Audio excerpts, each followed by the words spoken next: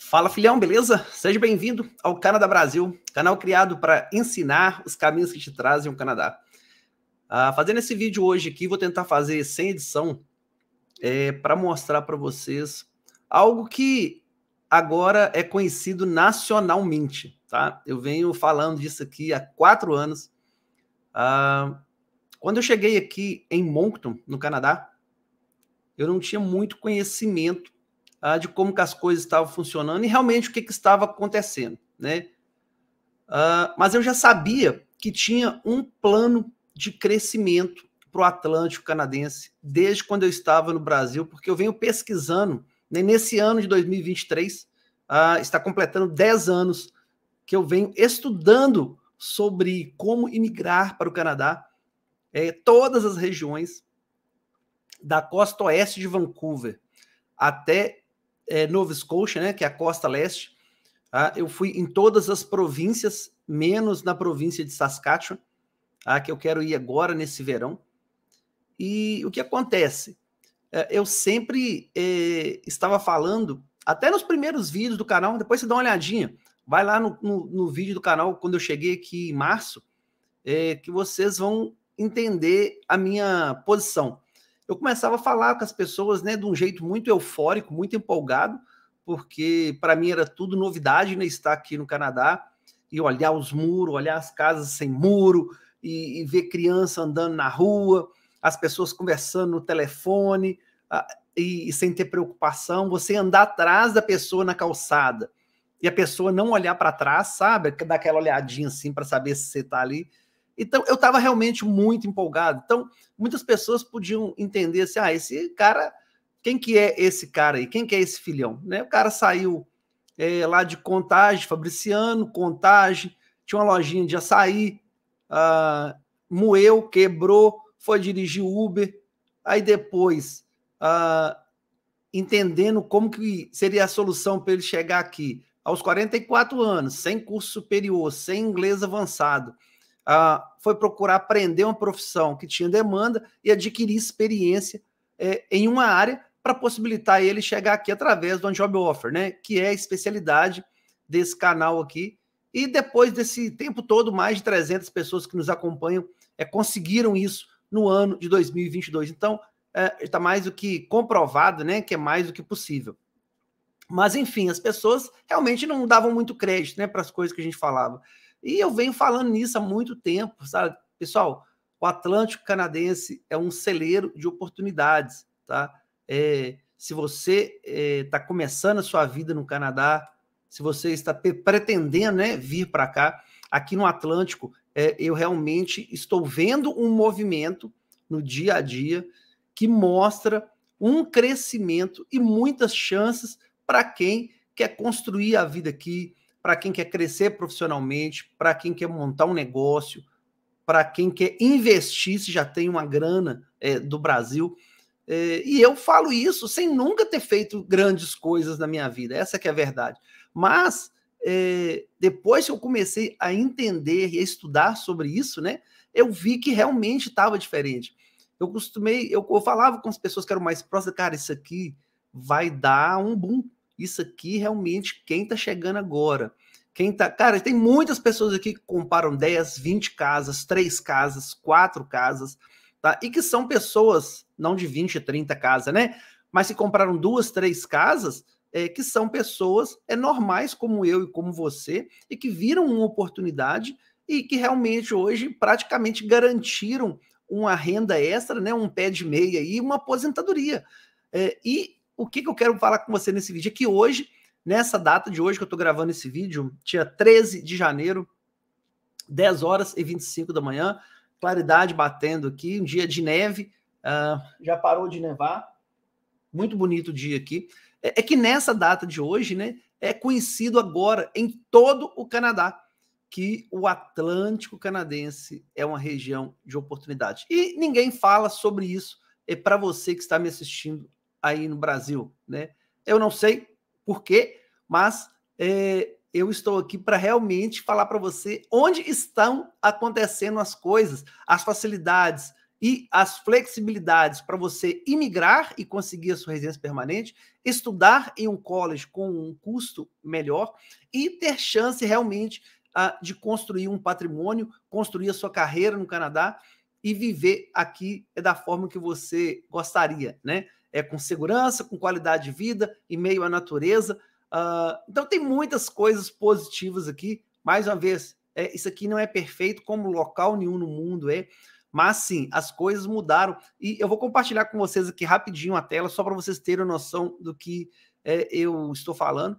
E eu, particularmente, eu fico muito feliz tá, de ver essa notícia, porque mostra que realmente aquilo que a gente vem falando aqui ao longo desses quatro anos é, está comprovado hoje e é de conhecimento de todo o Canadá. Não só do Cláudio, não só da comunidade que segue o Canadá Brasil, Fala Filhão, mas em todos os jornais canadenses é, essa notícia saiu agora. Então é sabido agora, não tem mais como contestar que o Canadá ah, e que o Atlântico canadense não é um local de oportunidade e em altíssimo crescimento.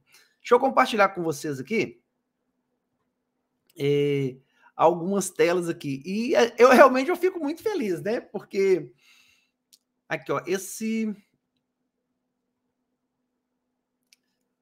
Antes de eu, de eu compartilhar isso, deixa eu mostrar para vocês é, por que, é, que o Canadá está desse jeito.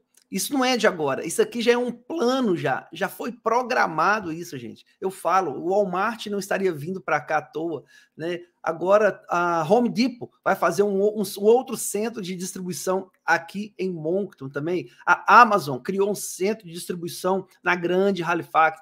Então, essas, essas empresas elas têm é, mais informações do que nós e realmente foi feito um estudo para fazer um desenvolvimento do Atlântico. E esse desenvolvimento, esse plano, começou em 2016. Ó.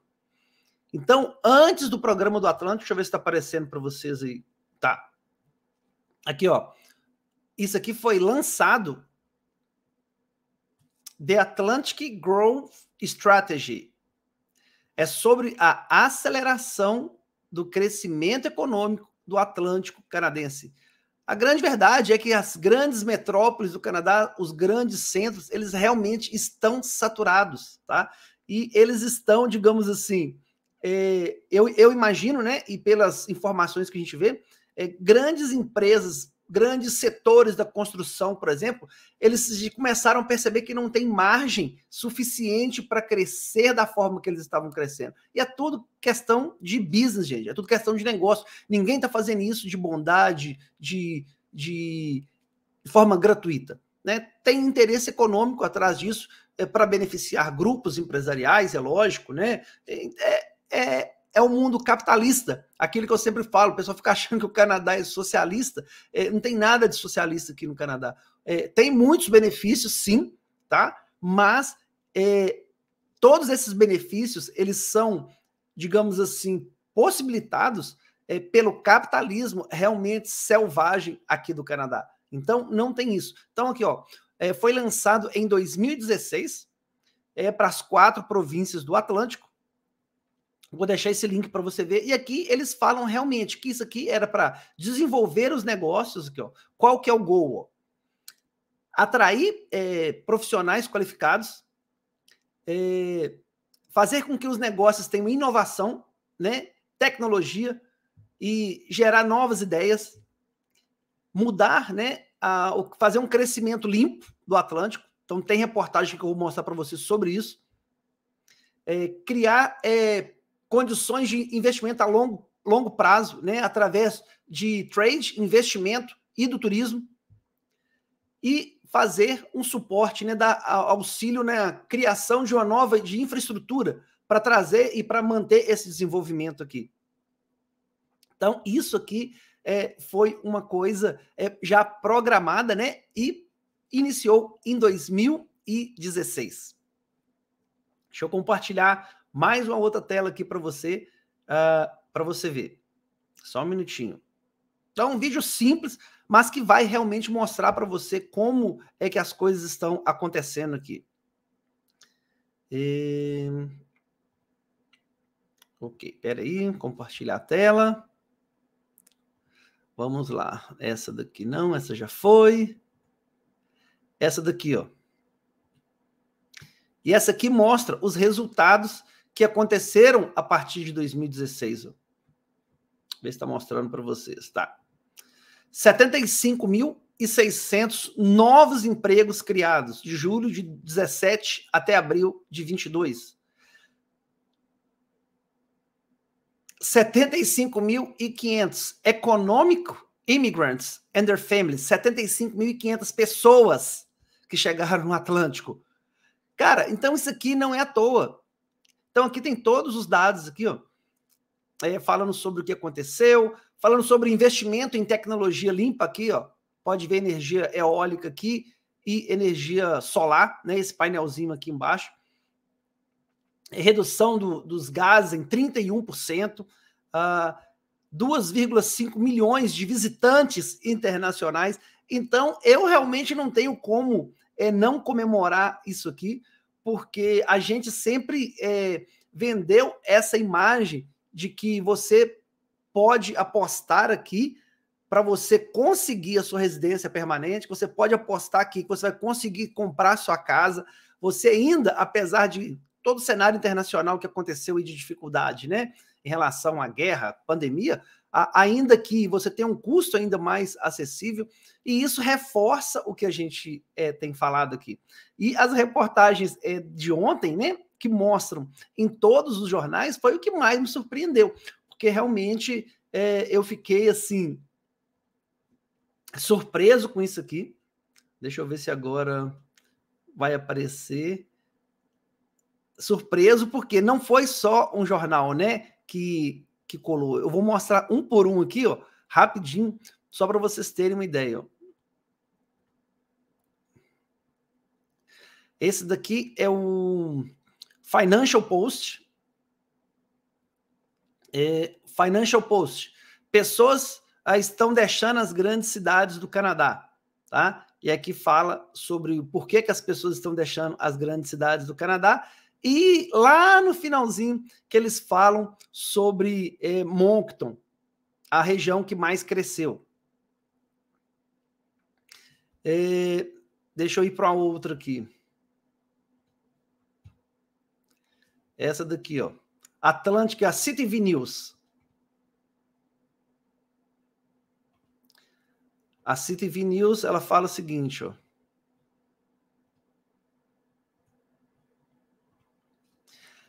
Moncton, Halifax estão na lista, no topo da lista uh, das regiões urbanas que mais crescem no Canadá, que mais cresceram no Canadá. Aí fala aqui, ó, é, que a população é, de Moncton cresceu 5,3%, a população de Halifax cresceu 4,4%, e mostra aqui, ó, esse, olha, presta atenção nisso aqui, ó, esse crescimento é o dobro registrado no Canadá. O Canadá cresceu 1,8%. E isto representa a primeira vez, o maior crescimento nos últimos 20 anos, tá? É, nas regiões das províncias do Atlântico. Isso aqui é da CityV News. Aí fala de investimentos, é, fala das outras cidades também, fala que a cidade que menos cresceu foi Montreal e Thunder Bay. E aqui fala também um negócio bem interessante, não sei se é nesse aqui ou na outra matéria. Charlottetown foi a cidade pequena, comunidade pequena também, que mais cresceu no Canadá. Ou seja, é todo o Atlântico canadense com muitas oportunidades. Aí fala que o Atlântico canadense está ganhando o crescimento da população não apenas como imigrantes internacionais, mas como pessoas de outras províncias também. Aí fala aqui que é, as províncias do Atlântico, Alberta e British Columbia, é que ainda registraram o maior crescimento é, da população.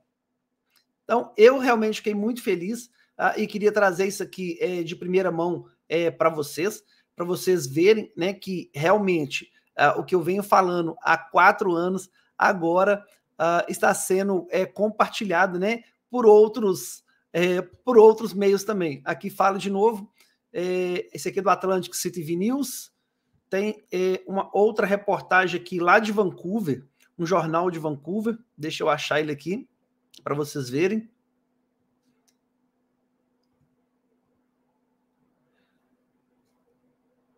QD Vancouver, aqui, ó. Esse aqui é o Vancouver, jornal de Vancouver, falando Moncton Halifax na cabeça das comunidades que mais cresceram. Esse daqui eu já tinha mostrado, da CTV News, deixa eu mostrar um outro aqui. Esse aqui é de novo, esse aqui é na CB, é, Canada Today. Canada Today mostrando também é, esse crescimento. Halifax, deixa eu ver um outro. Vancouver, Financial Post, já mostrei para vocês. Esse daqui, deixa eu mostrar esse aqui para vocês. Ó. Espera aí. Esse aqui não é muito prático, não, mas. Aqui, ó, Canada Today, Moncton Halifax, top list, maior crescimento. Ou seja, hoje é, todo o Canadá é, está sabendo é, que a região do Atlântico é a região que mais cresce no Canadá, que Moncton é a cidade, né, a roça, né, como diz o outro, é o interior, ah, onde que ninguém fala, né, o, sobre New Brunswick aí, que o pessoal costuma falar, ah, New Brunswick é a província mais pobre do Canadá. Cara, eu não sei o que é mais pobre para você. O que eu sei é que as pessoas não param de chegar, as obras não param de acontecer, as facilidades, as flexibilidades nos programas de migração continuam muito atrativos e ainda assim continuam com o melhor custo de vida do Canadá. Então, é isso que eu queria mostrar e compartilhar com vocês. Né? É, pode parecer ser uma coisa bem simples para você que está me assistindo nesse momento, mas para mim é algo muito importante que valida aquilo que eu venho é, falado para vocês durante esses quatro anos e hoje é público nacionalmente conhecido de forma nacional, beleza? Então, se você não é inscrito no canal, inscreva-se, porque aqui eu sempre trago conteúdo para te ajudar a chegar no Canadá. Se você já é inscrito, já sabe, esmaga o botão de, do like, fique ligadinho no canal, porque tem novidades vindo por aí. Em breve estaremos disponibilizando o método MIF, método inteligente Fala Filhão, que vai ensinar você o passo a passo do zero até conseguir a sua oferta de trabalho, beleza? Fica firme, não desista, porque eu não vou parar enquanto você não chegar aqui. Deus abençoe vocês, como sempre. Um abraço!